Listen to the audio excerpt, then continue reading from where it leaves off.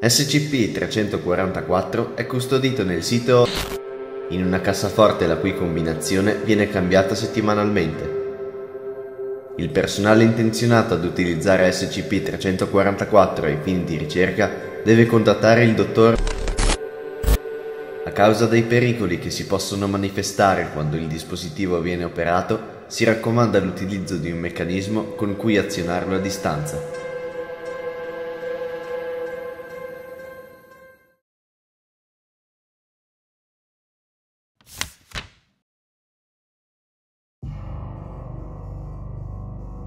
SCP-344 è un apriscatole manuale di marca prodotto prima del 1900.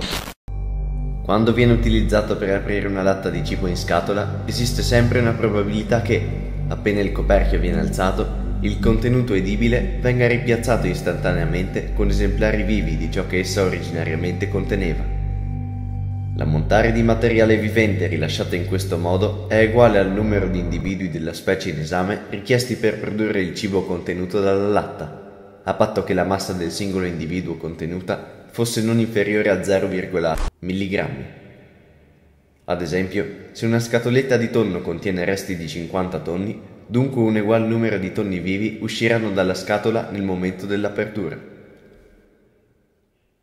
Ovviamente, la compressione di una tale massa all'interno di un così piccolo spazio causa un aumento esplosivo di pressione, con la conseguenza espulsione, a velocità ragguardevoli, del contenuto vivo, potenzialmente ferendo chiunque sia nei dintorni. Gli organismi usciti da una scatola aperta con SCP-344 non presentano mutazioni osservabili rispetto ad esemplari naturali. Nonostante la probabilità teorica che tale fenomeno si presenti sia stata valutata intorno al 50% dei tentativi, gli esperimenti della Fondazione mostrano che la reale percentuale si avvicina asintoticamente al 30% per gli organismi del regno animale, per cento per individui del regno vegetale e per la provenienza degli individui vivi è sconosciuta eliminando dalle ipotesi la generazione spontanea per mantenere il principio di conservazione della massa dell'energia. L'ipotesi più accreditata è che il materiale vivo sia teletrasportato da particolari luoghi sul pianeta, oppure che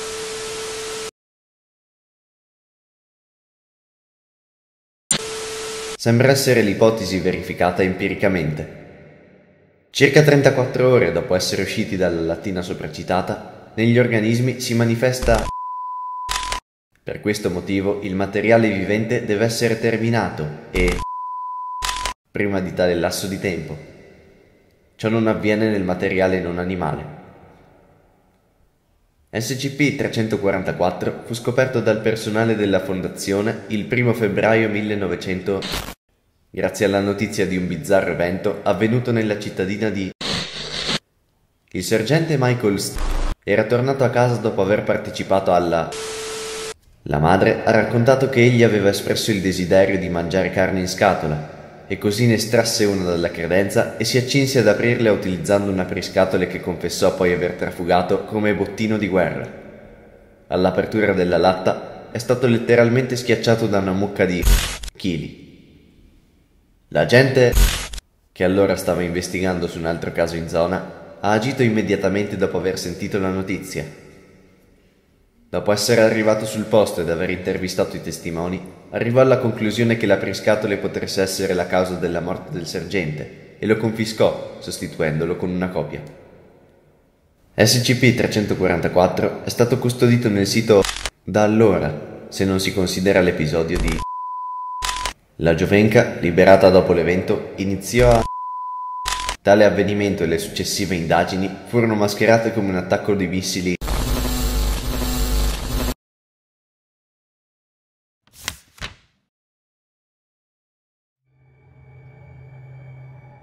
Il 5 luglio 1900 il dottor cercò di aprire una scatoletta di carne di maiale nell'area di riposo comune sul sito, utilizzando per errore SCP-344.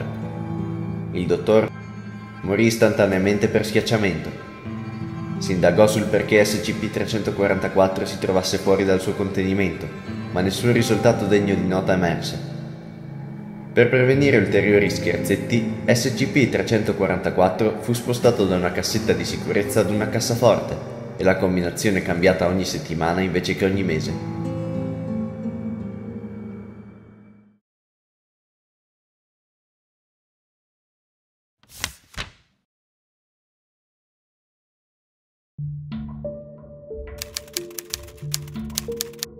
Sessantasette tonni ed un delfino nonostante l'etichetta dicesse non contiene carne di delfini, volarono fuori dalla scatoletta alla velocità di chilometri orari, ferendo gravemente D2856, che aveva utilizzato l'apriscatole. Tutti gli animali sono inceneriti, salvo un tonno che viene posto in cella frigorifera. Questo tuttavia non evita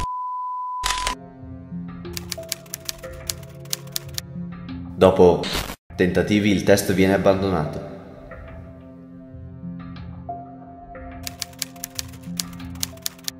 Ci vogliono tentativi prima che l'effetto di SCP-344 si manifesti sulla latta. Questo suggerisce che la fenomenologia legata alla priscatole si manifesta con minore incidenza sul materiale non animale. Con sorpresa, invece di espellere circa 900 fagioli non cotti come i ricercatori si aspettavano, la latta emette 324 piante di fagioli, danneggiando la stanza in cui si tiene la prova e seppellendo vivo l'operatore di classe D che ha aperto la latta. Tutte le piante sono incenerite, eccetto una che non... come ci si aspettava. Il fatto che non ci fossero 914 diverse piante suggerisce che SCP-344 abbia raggruppato i fagioli provenienti dalla stessa pianta.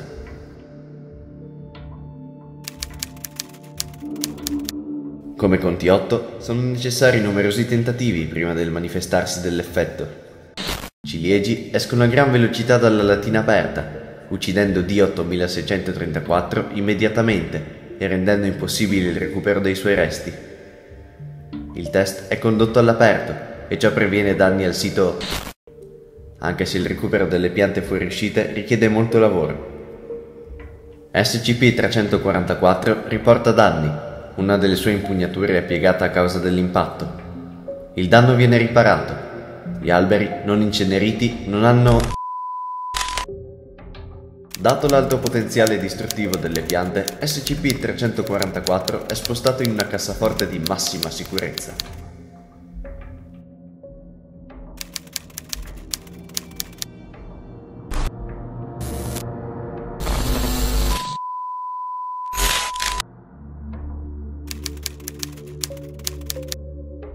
Suino è messo sotto sorveglianza in una gabbia distante 3 km dalla camera del test. Per l'apertura vengono usati manipolatori robotici. Dopo svariati tentativi, la fenomenologia di SCP-344 si manifesta. Il cinghiale scompare dalla gabbia con intensa emissione in tutto lo spettro elettromagnetico. Nello stesso momento, nella camera di test si registra l'uscita del cinghiale nella scatoletta ad alta velocità, con conseguente impatto sul muro. Il danno all'animale causato dall'asportazione della carne sembra essere stato riparato. Il personale di classe D viene immesso nella camera con l'ordine di contenere il cinghiale, ancora vivo illeso nonostante la collisione. Appena fanno il loro ingresso, il suino diventa estremamente aggressivo, manifestando infine e provocando gravissimi danni all'area di test. Ulteriori test con materiale animale sono scoraggiati se non con presenti misure di sicurezza e di neutralizzazione.